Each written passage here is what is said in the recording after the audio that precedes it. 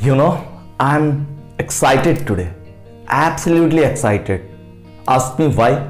There's one genuine reason कि आपसे मुलाकात हो रही है इतने दिनों बाद और वो भी क्लास नाइन का ये पहला सेशन है कितने दिनों से मैं प्रॉमिस कर रहा हूँ लेकिन due to shortage of time और हायर क्लासेस का सेशन बना रहा था मैं इस वजह से थोड़ा सा बैकलॉग जा रहा था but better late than never जैसे अंग्रेज़ी में कहते हैं so here DP is with you आज का सेशन आप और मैं, और फिजिक्स और मोमेंटम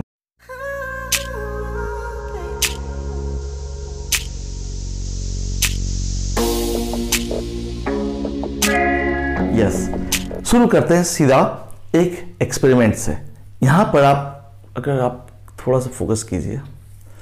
यहाँ पे एक ये फ्लैट सरफेस है, और उस पर मैंने कुछ कागज़ छोटे छोटे कागज़ के टुकड़े यहाँ पर रखे हैं आपके लिए सजा के पहले से।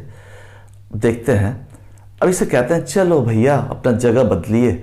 जाइए, आप ये जो पोजीशन है, यहाँ से यहाँ पर आइए। क्या खुद ब खुद जाएगा? जाओ जाओ। सुनीरा, हमारा ढीठ प्राणी है।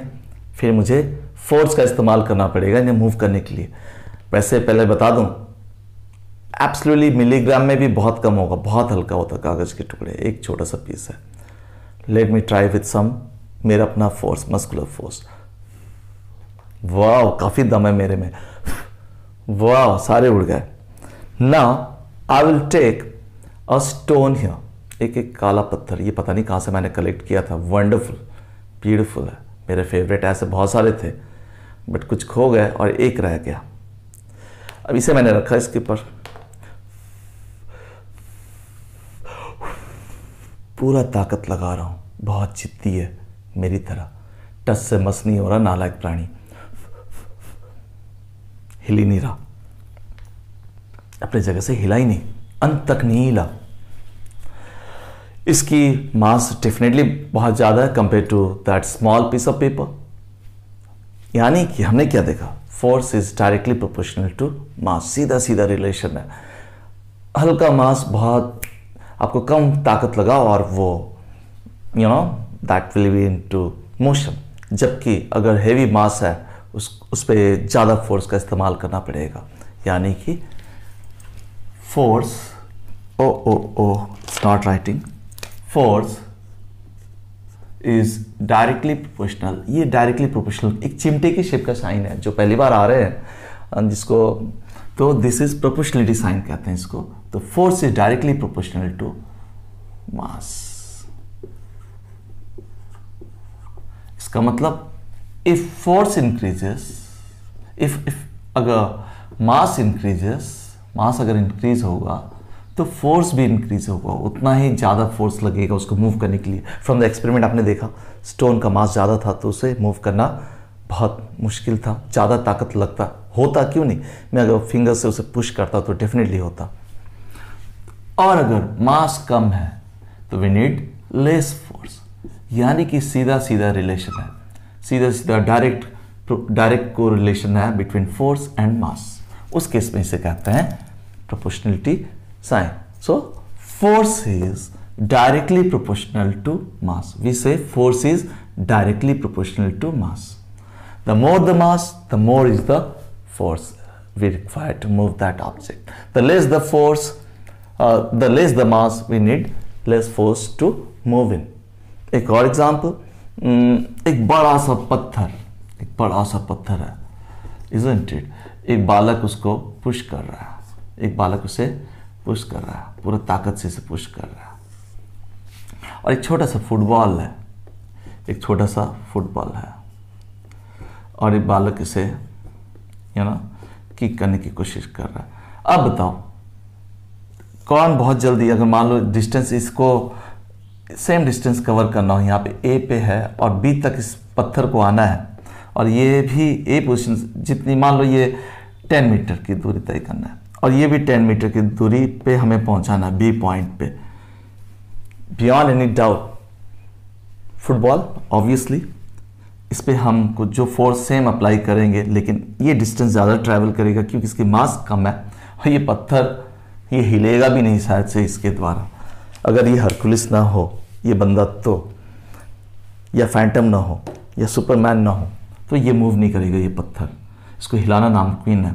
Why because it's mass is too heavy so we need to apply more force on a mass of you know large object जिस ऑब्जेक्ट का मास बहुत ज़्यादा हो, तब हमें ज़्यादा फोर्स की इस्तेमाल करना पड़ेगा। अब हम देखते हैं कि force is also directly proportional to velocity force is directly proportional to velocity now किसी चीज़ में ज़्यादा फोर्स होगा जस्ट अ सेक किसी चीज़ में ज़्यादा फोर्स होगा मार्कर सारे प्रॉब्लम कर रहे हैं, या force is directly proportional to velocity also force is directly proportional to velocity यानी कि हम किसी को अगर ज़्यादा, मान लो ये क्रिकेट बैट है आपके पास, ठीक है? आप बैटिंग कर रहे हैं। आप बैटिंग कर रहे हैं। So what's going on you know bowler ball कर रहा है और आप बैट पकड़े हो। या फिर टेनिस ले लीजिए टेनिस खेल रहे हैं आप तो बॉल आपके पास आया। आप उसे हाथ से रिटर्न करना चाह रहे हैं और हाथ से बहुत तेज करना चाहते हैं। ठीक है, एक बार आपने हाथ से जितना ताकत है लगा दिया ले द बॉल बहुत दूर गया। लेकिन वही बॉल अगर आपके पास आता है सेकेंड सर्व में और आपके पास एक प्रॉपर टेनिस रैकेट है और आपने पूरा ताकत लगाया टेनिस रैकेट के साथ। अब किसमें ज़्यादा फोर्स कौन ज़्यादा दूर तक जाएगा? कौन सा वाला बॉल ऑब्वियसली जो सेकंड केस है, टेनिस रैकेट के साथ। क्योंकि टेनिस रैकेट के साथ एक मोमेंटम मिलता है। ज़्यादा सरफेस एरिया से होते हुए वी अप्लाई मोर फोर्स तो जितना ज़्यादा फोर्स उतना ज़्यादा वेलोसिटी उतना ज़्यादा डिस्टेंस कवर्ड इसीलिए force is directly proportional to velocity अगर हम मास को एम ले to simplify our life and velocity को वी ले वेलोसिटी को हम अगर वी लेते हैं तो इस केस में, उस केस में हम दोनों को एक साथ भी लिख सकते हैं कि force is proportional to mass yes आपको पता है इनटू वेलोसिटी अगर मास को आप एम लेते हैं और अगर वेलोसिटी को आप लेते हैं मीटर वेलोसिटी को अगर वी ले रहे हैं तो उस केस में दोनों को सब्सिट्यूट करो यहाँ पर। Force is proportional to mass into velocity force is proportional to mass into velocity. And this mass into जो वेलोसिटी है ना, इसी को ही कलेक्टिवली कहते हैं मोमेंटम इसी को ही कलेक्टिवली हम कहते हैं मोमेंटम सीधे शब्दों में दिस इज़ द मोमेंटम पता नहीं क्यों मोमेंटम को अक्सर पी लिया जाता है। दैट्स वेरी इंटरेस्टिंग पी लिया जाता है। यानी कि P equal to momentum equal to mass into velocity mass into velocity यहाँ इनटू साइन देने की आवश्यकता नहीं है। बाय डिफ़ॉल्ट इसका मतलब होता है mass into velocity mass into velocity I hope अभी तक सब आपको समझ में आ रहा है तो momentum equal to the product of mass and velocity we say. Mass and velocity बहुत इंपॉर्टेंट फॉर्मूला है. इसके बेसिस पे हम काफ़ी सारा न्यूमेरिकल करेंगे. Let me marker yes momentum equal to mass into velocity fine so far अब देखते हैं, आगे बढ़ते हैं हम लोग। तो हमने क्या देखा कि हमने आज एक नया फॉर्मूला इन्होंने डिस्कवर किया कि momentum equal to mass into velocity momentum equal to mass into velocity अच्छा कुछ न्यूमेरिकल्स हम करेंगे जिससे आपके कंसेप्ट और सॉलिड होगी, आपकी अंडरस्टैंडिंग और और शार्प होगा।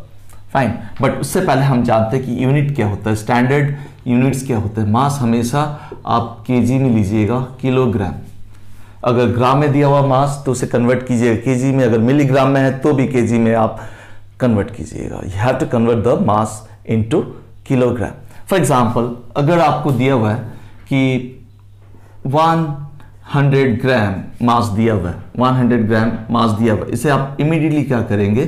100 ग्राम बाय थाउज़ेंड यहाँ पर केजी हो जाएगा। कि केजी में कन्वर्ट करना होगा तो 100 gram equal to 100 by thousand यानी कि 1 by ten K G you just put 1 by ten या फिर पॉइंट वन के जी या फिर put point zero point one K G fine तो आपको ग्राम में स्टैंडर्ड फॉर्म में हमेशा केजी में लाना है एसआई यूनिट्स में। अच्छा वेलोसिटी जो होती है उस यस आपको तो पता होगा। It is always expressed metre per second इसकी यूनिट होती है मीटर पर सेकेंड अगर किलोमीटर पर आवर है सो so, अगर इसकी यूनिट कभी कभी दी रही होगी किलोमीटर पर आवर तो इसे भी आप इसको भी आपको कन्वर्ट करना है मीटर पर सेकेंड में। So so, kilometre per hour को आपको मीटर पर सेकेंड में स्टैंडर्ड इसमें लाना है। ना आपको कुछ भी नहीं करना। आपको सीधा सीधा अगर जैसे किलोमीटर पर आवर है, उसको अगर मीटर पर सेकेंड में एक टिप्स एकदम दिमाग में बिठा लो आज तो आप क्या करोगे हमेशा? जो भी अगर स्पीड दी हुई है किलोमीटर पर आवर में, ध्यान से। मान लो 18 किलोमीटर पर आवर दिया हुआ फाइन आप क्या करोगे? इसको इमीडिएटली जब मीटर पर सेकेंड में कन्वर्ट करना हो, आँख बंद करके ये आप याद रखिएगा।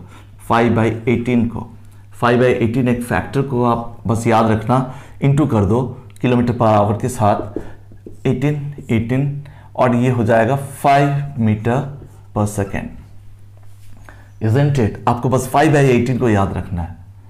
एक नया टेक्निक है फाइव अब आप चाहो तो इसको थाउज़ेंड ले लो, इसको आवर्स में बदलो, वही आएगा फाइव मीटर पर सेकेंड कैसे? एक बार कर लेते हैं इसको, ठीक है? मान लो eighteen kilometre eighteen kilometre per hour है। इसको बदलो अभी। 18 जो अधिकतर बच्चे करते हैं देख लॉस्ट टाइम 18,000 मीटर हो गया। One hour equal to three thousand six hundred you know second हो गया फिर यहाँ काटेंगे यहाँ काटेंगे यू नो फिर एटीन का मैं उल्टा टेबल जा रहा हूँ। एटीन टेन जा वन एटी एटीन टू जा thirty six ten by two five घुमा फिरा के तो यही आ रहा है। Five metre per second is it आपको फाइव बाई एटीन याद रखना है। फाइव बाई एटीन अगर याद है तो गलती कभी नहीं होगी। स्ट्रेट में देखो तो सही। आप इतना लंबा रास्ता तय किए, तब जाके फाइव आया। और मैंने सीधा सीधा किलोमीटर पर आवर को सिर्फ़ एक फैक्टर फाइव बाई एटीन के साथ मल्टीप्लाई किया। I got five metre per second smart intelligent move होना चाहिए आपका इज़ इट सो ये कुछ एक टिप्स आपको याद रखना है कि किलोमीटर पर आवर को जब भी आपको कन्वर्ट करना है मीटर पर सेकेंड में you to multiply with this factor ये फाइव बाई एटीन आपको याद रखना है। अच्छा सर, अगर मीटर पर सेकेंड है और किलोमीटर पर आवर में बदलना तो क्या करेंगे? अरे तो भी बहुत आसान है। कैसे? देखो। अगर मान लो मुझे दिया हुआ है फाइव मीटर पर सेकेंड दिया हुआ है इसको मुझे कन्वर्ट करना है किलोमीटर पर आवर में। तो what I will be doing सीधा सीधा यहाँ पे फाइव को इंटू किया एटीन बाई फाइव से। आप सीधा काटो, देखो 18 किलोमीटर पर आवर आ रहा है। और यही तो था। 18 किलोमीटर पर आवर 5 जस्ट आप ध्यान देना, जो 18 बाई फाइव यहाँ पर जो फैक्टर 5 बाई एटीन था, आप इंटू करते थे किलोमीटर पर आवर को मीटर पर सेकंड में बदलने के लिए, उसका रेसिप्रोकल रेशियो ले लो। 5 बाई एटीन कर दो। Sir give me another example fine let's say let's say 30 let's say 30 kilo 30 you know metre per second speed है उसको जल्दी से हमें किलोमीटर पर आवर में लाना है। कुछ भी नहीं करना। 30 को जल्दी से इंटू एटीन बाई फाइव से करना है। Five six thirty you know how much is eight six forty eight hundred eight kilometre एक घंटे में वो ट्रेन मूव करेगी 108 किलोमीटर अगर 30 मीटर पर सेकेंड उसकी स्पीड है। नाउ आपको ये five by eighteen and eighteen by five का आपको कंसेप्ट क्लियर हो गया is it first question Find the straightforward question. Find the momentum of an object, momentum of an object of mass. Now 5000 500 uh, 5000 uh, gram 5000 gram. Moving with the velocity moving with a velocity of moving with the velocity of for example uh, 20 20 meter per second now what are the things given we'll pay focus here and every unit if it's not in SI units आपको सबसे पहला काम उसको S I units में convert करने हैं ना given सबसे पहला हमेशा क्वेश्चन को ध्यान से देखना गिवन क्या क्या है गिवन यहाँ पर डिफरेंटली मास है। मास एम दिया हुआ equal to five thousand gram no ये तो यूजफुल है, पर हम एज इट इज़ यूज़ नहीं कर सकते। क्यों? क्योंकि 5000 थाउज़ेंड एसआई यूनिट्स में नहीं है। इट्स इन ग्राम आपको पता है मास का एसआई यूनिट होता है किलोग्राम इज़ इट तो आप इसे किलोग्राम में बदलिए, बहुत आसान है। 5000 ग्राम को किलोग्राम में बदलने के लिए हज़ार से आपको इंटू करना होता है। तीन ज़ीरो तीन ज़ीरो कट गए you left with five so it is five K G five के एस आई यूनिट में बदल गया हमारा मास नाउ और एक चीज़ दी हुई है velocity velocity to S I unit metre per second एकदम परफेक्ट है. So velocity equal to 20 metre per second एकदम. सो देर वी नो और हमें ये भी पता है कि मोमेंटम का फॉर्मूला आज ही ताज़ा ताज़ा सीखा इज़ इंट इट कि momentum equal to mass into velocity you put the value of mass found here 5 kg. 5 into, put 20 metre per second it comes to 100 now आपको बता दूँ कि मोमेंटम का यूनिट क्या होता है? यू नो मास केजी में. You know velocity is in metre per second which can be also expressed as K G metre ये भी एक तरीका होता है पर, नीचे वाले के ऊपर लिखने का. मीटर पर second so hundred K G metre पर सेकेंड छोटा सा माइनस वन सुंदर सा. देफो पी इक्वल टू और फाइनल आंसर हमेशा स्क्वायर ब्रैकेट में लिखना। यू नो से कभी भी एग्ज़ाम में एग्जामिनर की ध्यान नहीं हटेगी तो आपको कहीं मिस नहीं होगा तो आपको नंबर मिलेगा। ये पहला सवाल, और कुछ न्यूमेरिकल्स लेते हैं back to back isn't it आपको समझ में आ गया? एक और क्वेश्चंस लेते हैं। मेरा बीट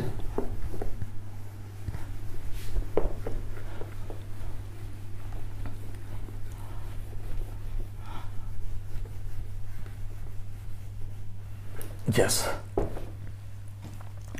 एक और क्वेश्चन लेते हैं क्वेश्चन नंबर टू क्वेश्चन ये है कि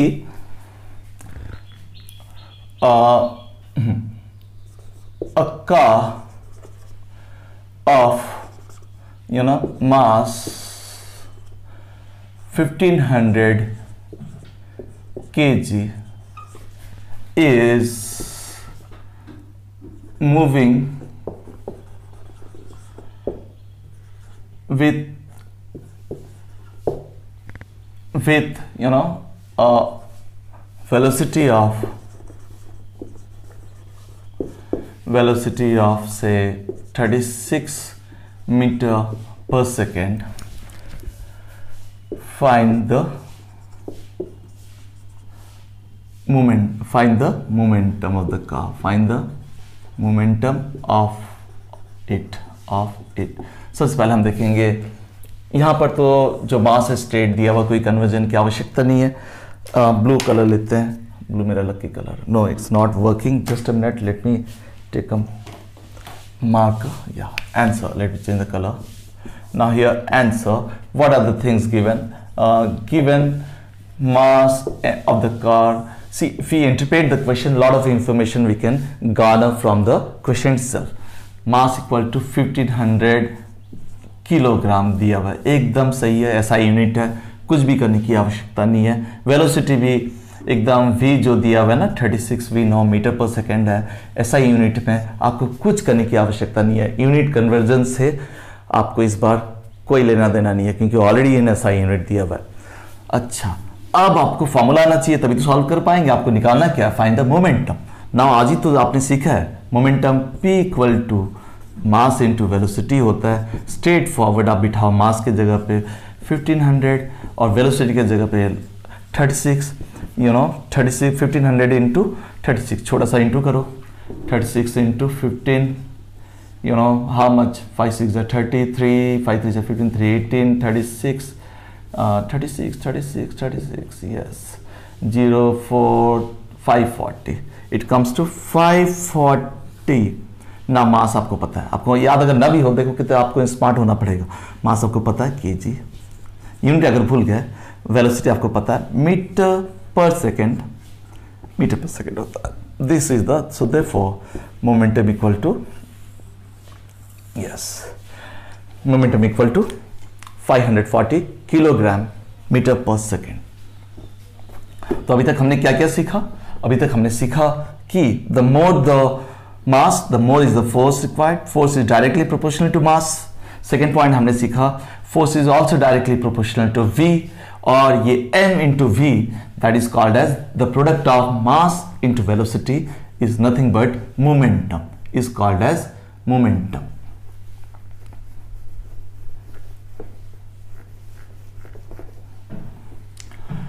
ना